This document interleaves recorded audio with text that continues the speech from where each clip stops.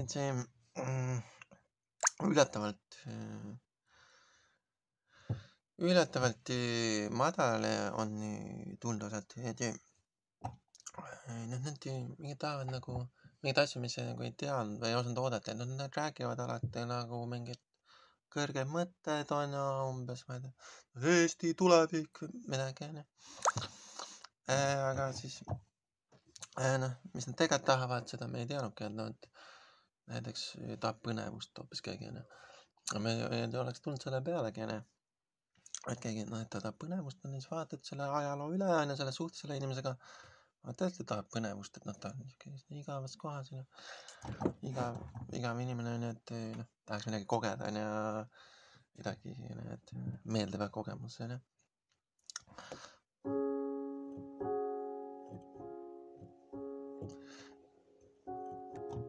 Et see noh, siis noh, see noh, see, kui sa oled nagu see non-veg või noh, see, see lihasööja onju. no ma ei, ma ei taha, ma ei taha kedagi hukka mõista, ma ei soovi kedagi hukka mõista, ma soovin no kõiki noh, aru saada, mõista, aidata onju. et kui ütleme, sa oled lihasööja ja sa soovid meeldiva kogemuse onju, siis kõige lihtsam viis on äh, proovida onju taimetoidu, vegetarian maailma või vegan, noh, seda, see on kõige lihtsam ja kiirem viis, kuidas saada uusi meeldivaid kogemusi, onju. sellised praegu, praegustel kaalutlustel on, on see koht, kus need meeldivad kogemused just on, onju.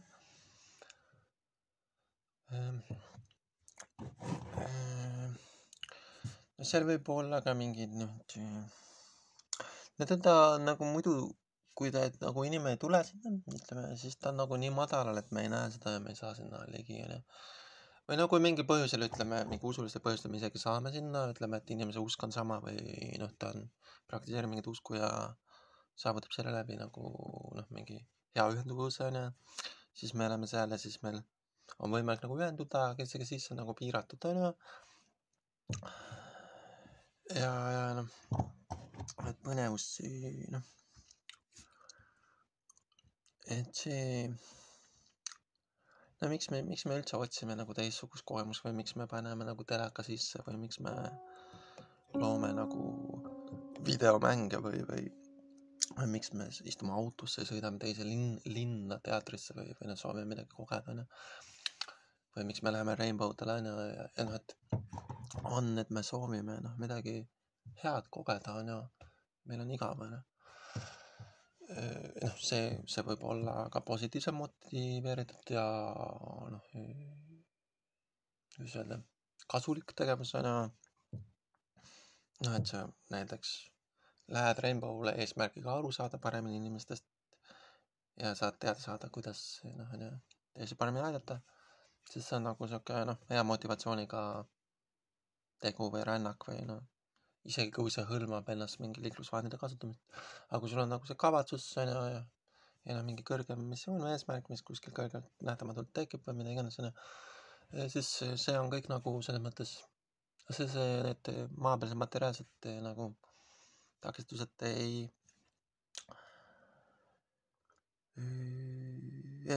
on väiksed võrreldes selle kõrgema missiooniga onju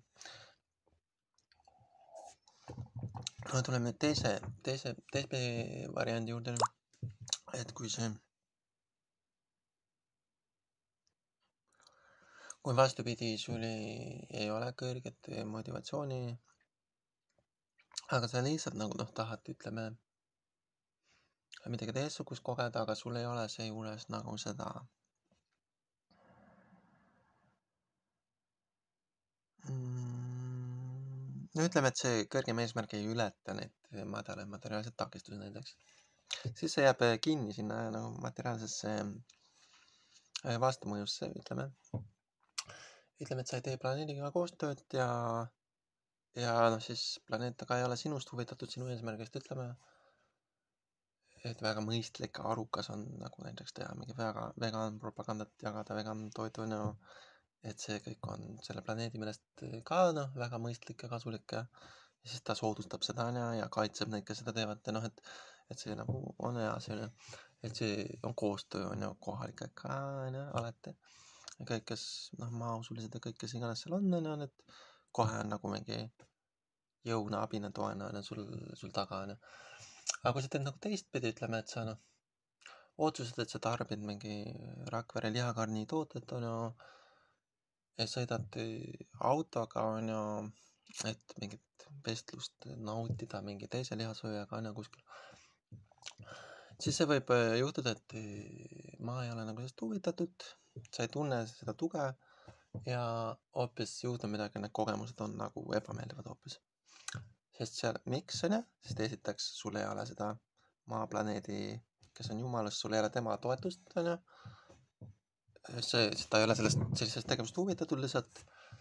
sul ei ole tema toetust ega heakskiitu ega noh, pidevat suhtlust või mõju, on ju ja ja, ja siis seal liigub nendest piirkonnast liigub palju hoopis teistsuguseid jõude onju, kes on siis, seal võib ükskõik kes olla, me ei teagi, kes seal täpselt on, ütleme noh, et mingi, no ma ei tea, no mingi metsas elab keegi noh, teemon või, või kes iganes onju. või ma ei tea, kes seal, nojah, ja ma ei tea, seal võib igast rahvast olla, ma ei tea. ja, ja siis kuna sa lähed siis nagu sinna suunas onju oma siis sellise, ma ei tea, kamist ka mitte just kõige puhtama kavatsusega näiteks onju. siis võib juhtuda, et sa saad pihta mingite asjadega seal lihtsalt, et eh, nagu seal on mingi olend või keegi onju, kes, eh, kes ei ole nii sõbralik näiteks kui see, kui sa oleks noh, teinud vegan propagandat ja pakkunud vegan tooteid näiteks. et, et see, see nagu et mida sa nagu teed, et eh, sinna sa nagu liigud ja siis vastavalt sellele sa kohtad erinevaid jumalusi ja olendeid ja hingesid, onju hmm..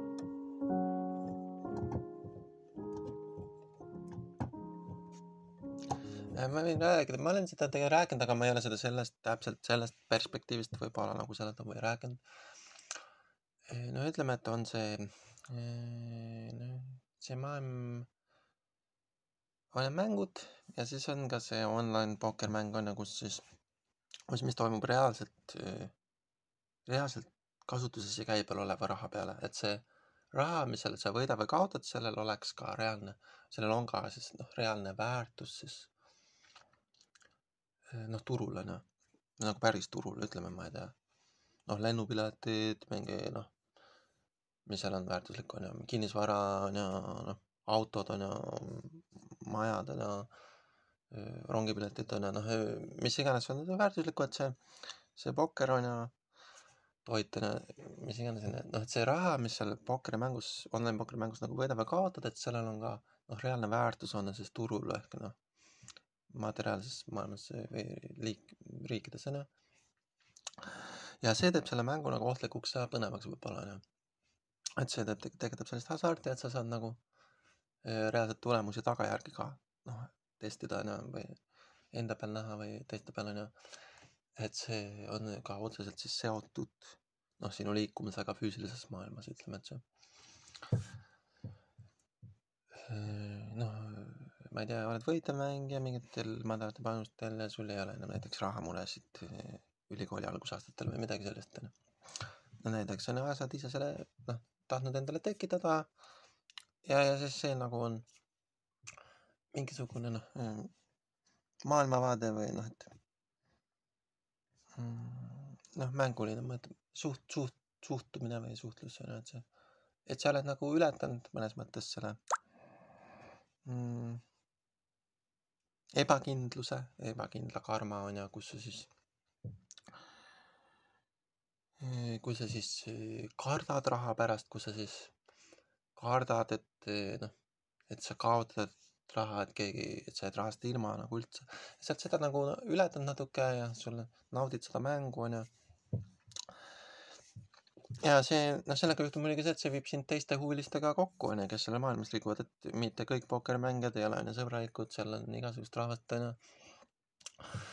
aga noh, see üldiselt viib selliste sarnaste inimestega kokku ja no mina isiklikult, mind viis see isegi nagu Austria pealinna Viini kuidagi mitmete, mitmete jõudude abiga, ütleme siis nii. ja, ja seal Viinis ma kohtusin nagu siis ka noh, kahe professionaal, kes olid olnud professionaalsed pokkerimängijad seal internetifoorumis, kohtusime ka füüsiliselt päriselus, et see oli väga tore onju. ja siis see viis mind edasi isegi India pealinna Delhisse, New Delhisse, et kus oli ka Skype'i pokkeri võrgustiku kaudu mul üks online pokkeri sõber onju. et sealt see lugu tegelikult hakkab, aga eh, et see, et see, mis ma tahtsin öelda, et need sarnase karmaga sa satud kokku sarnaste huvidega inimestega onju. ahah, et sul on see kirjandushuvi, oi ma loen, mis raamatuid sa oled lugenud ja ma olen seda, seda lugenud. aga pokkerimängijatel on see, mis panustel sa mängid onju, mis strateegiat sa parasjagu ka noh, et kui palju sa mängid, et no mingid eh, siuksed küsimused hoopis onju. kas sul on pere ja, ja noh, mida, mida veel onju.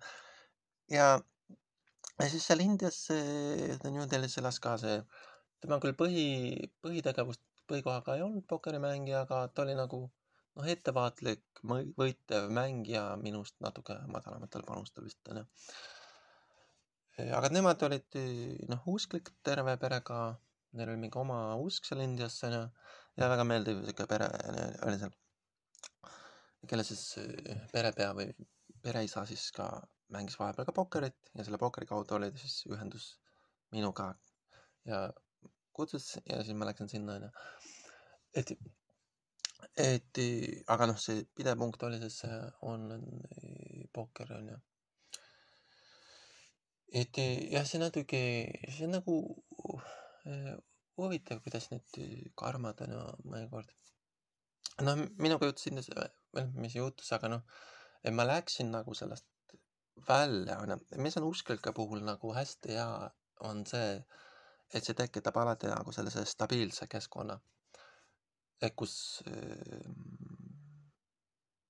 ma ei tea, kus kõik toimib alati, kus mm, turvaline, normaalne, kus kõik nagu alati toimib. noh, nad võivad olla.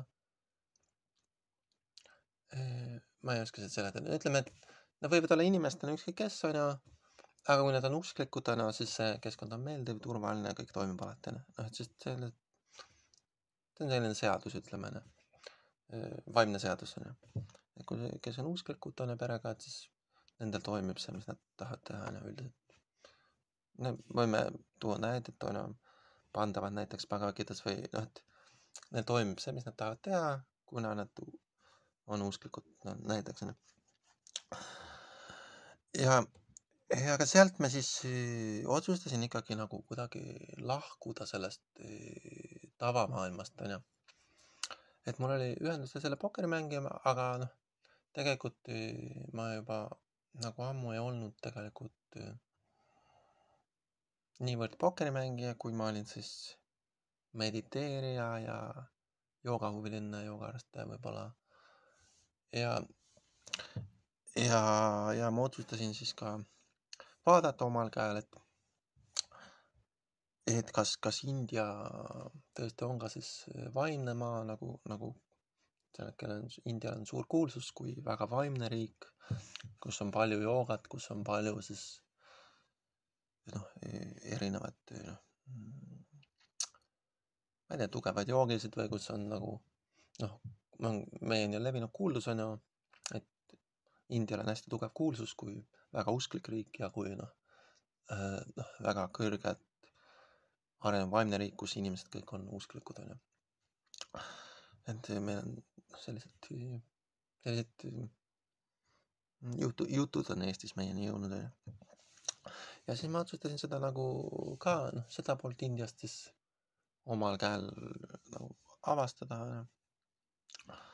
natuke ja, ja noh, siis sa satud jälle kokku nende vaimsete huvidega inimestega on ju rohkem. et see, et see on nagu, see nagu see, kuhu sa jälle, kuhu see viib jälle ja, ja see vaimne seiklus kestis mul noh, ütleme ikka aasta või, või, või rohkem isegi onju. ja, ja mm, ja see noh, lõppes võib-olla sellega, et noh, et ma pidin nagu aitama hakkama siis teisi inimesi, kes ei, ei olnud veel nii palju äh, joogaga seotud. et noh, see viis mind tagasi siis rohkem noh, mittevaimsete huvidega inimeste juurde ja praegu ma endiselt olen seal ja nende keskel. jah. et see noh, et see põnevus on ju. Ja, ja, ja. see on nagu mm, ta ei, ta ei ole võib-olla nagu kerge öelda. see võib enne noh endas uskuma on ju, see, kus see algab, et kui sa veel ei ole vaimne, sa veel ei ole on ju sellel joogalainel, siis sa pead nagu endas uskuma, no et sa noh, võtad mingi asja, mis sulle väga meeldib ja hakkad seda nagu noh, hästi palju tegema. no pühendunult tegema või no hästi palju tegema see noh, kes on joogas, need suudavad valida ükskõik mis asju ja hakata neid tegema, aga noh, ütleme, et sul noh, sa valid lihtsalt mingi meeldiv tegevus on ju, mis sulle kõige rohkem meeldib. noh, minu puhul see oli näiteks online pokker. jah, et online mulle meeldis rohkem isegi kui live või ma ei tea, noh, seda ma sain nagu üksi õppida hästi kiiresti juurde, see mulle meeldis onju. et laivis sa seal mingi jood õlut, tiksud, viskad nalja onju, aga noh, palju sa seal õpid onju. et võidad või ei võida, noh, mis seal on mingi viiekas, kümnekas siia-sinna, kellel on ju parasjagu. ei noh, niisugune lõbus, noh, meelelahutus, hea sõprus, hea seltskond on ju. ei ole ühtegi halba sõna öelda, aga noh, palju sa seal õpid, on ju. et noh, aga kui sa hakkad üksi nagu online pokkerit näiteks, siis sa nagu noh, õpid hästi kiiresti juurde erinevatelt meistritelt või siis erinevatelt tegijatelt on ju selles, kus liigub, noh, kui sa vaatad näiteks juba noh kui sa ei ole lihtsalt see lollakas, kes lihtsalt no loobib raha kasiinos onju. kui sa juba pöördud õpetajate poole näiteks, siis nende õpetajate hulgas ja õpetajate õpetajate hulgas, seal võib liikuda juba igasugu rahvast onju, kes, kes saavad sind ka noh, hingeliselt aidata või, või noh, et seal võib olla igasuguseid kasulikke kontakte onju, kasulikke inimesi onju. et see kõik oleneb nagu sinu karmast natuke ka onju. et see noh, kes kuhu soovib onju üldiselt jah, hmm. et, et jah, et kui ongi raske, siis ma ikka proovin, et mingi selgeltnägija asi oli küll, et no vahepeal oli, oli see, oli jälle, noh, ta on nagu veits raske ikka, et noh, noh, tegelikult tahaks kergemaks, aga ta on nagu mingi noh mingi, mingi suvaline inimene juba tuleb ka umbes, et noh, et kuule, kas sa saad mulle selle inimese kohta infot anda, onju, et sa oled ju selgelt nagu. ja siis noh, et ei tohi onju. isegi kui ma nagu tahaks sinna vaadata nii-öelda onju, siis sinna ei tohiks onju, et, et see ei ole nagu see, see, mida ma sooviks isegi onju. jah, et jah, eks me üritame nii palju ka nagu meeldivalt aidata, kui vähegi võimalik. et ta läheb nagu liiga kõrgeks natuke, et seal on nagu mingid noh, tekib küsimus selle maapealse missiooni kohta üldse onju. et oh, kas mu missioon ongi nagu mingi joogat täiega teha ja, ja mingi jooga sageduselt proovida nagu lahendada inimeste arengut või noh, kas ma soovin seda, noh. et see on natuke palju võib-olla minu jaoks ja, ja noh, äkki ma saan kuidagi kergemini on ju või, või noh, teistmoodi, teistsuguse väiksema motivatsiooniga motiveeritult, aga noh, mugavalt ju, normaalsel sagedusel.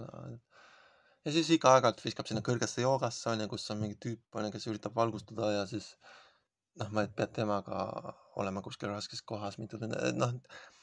ja siis on, siis jälle tiksud rahulikult edasi, teed nalja perega onju ja siis välja viskab kuhugi kõrgele joogasse, kus on mingi järgmine inimene, kes on, meil on abi vaja ja ükskõik kes onju. ja, ja siis no kui ma ei võta seda vastu onju, siis ma lollakas onju noh, et see, et see on nagu noh kuidas kunagi onju, et, et alati võib küsida, et üldiselt keegi siin peaks olema küll tavaliselt. ma mõtlen äh, ma mõtlen, mis, ta, ta on küll keegi siin, ma ei mäletagi siin sageduse veel, aa, Tõnu on see, Tõnu on selle, siis seal on veel mingi rahvas. ma ei tea, aa, need on üsna mingi mõttetud teil onju. Sest te ei ole ületanud mingit, no seal on see, et te peate nagu aitama mingit inimest, keda te vihkate või midagi sellist. ja siis läheb kergemaks, okei okay., aitäh